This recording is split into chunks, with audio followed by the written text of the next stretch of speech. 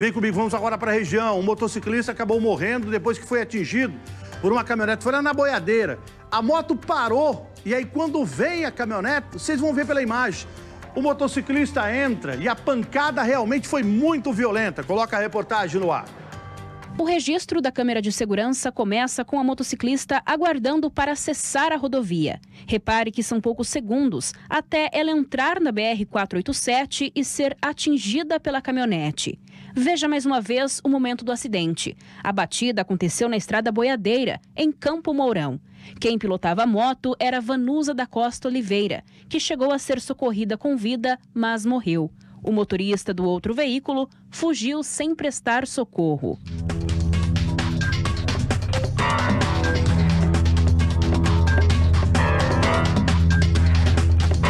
O acidente aconteceu próximo à rodoviária de Campo Mourão. Equipes de socorro foram chamadas. A motociclista recebeu o primeiro atendimento e foi levada ao Hospital Santa Casa, onde horas depois não resistiu e a morte foi confirmada.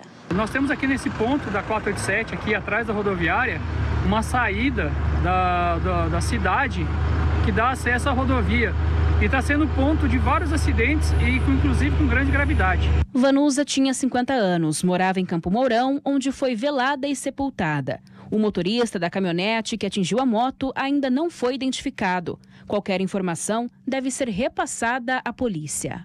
Se alguém visualizou, viu alguma coisa referente a esse veículo que invadiu isso aqui, é, entrar em contato para a gente tomar providência.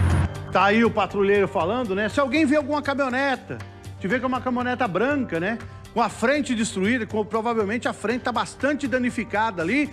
Por favor, denuncie para a polícia, porque a pessoa não parou. A moto ficou toda destruída. A gente vê. Coloquei mais da câmera de segurança de novo. A pessoa está lá aguardando lá. Passa o primeiro veículo, a moça está esperando. Eu não sei se ela se embananou ali na hora dos manetes ali. Ela entrou lá, ela entrou a hora que a caminhoneta estava chegando e o impacto realmente foi muito violento. Que Deus conforte a família da jovem.